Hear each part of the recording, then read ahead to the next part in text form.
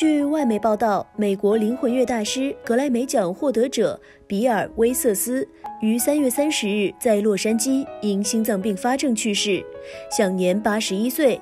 他的家人发布了一份关于威瑟斯去世的声明我们因失去挚爱忠诚的丈夫和父亲而悲痛不已。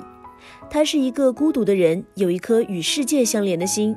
他的音乐永远属于这个世界。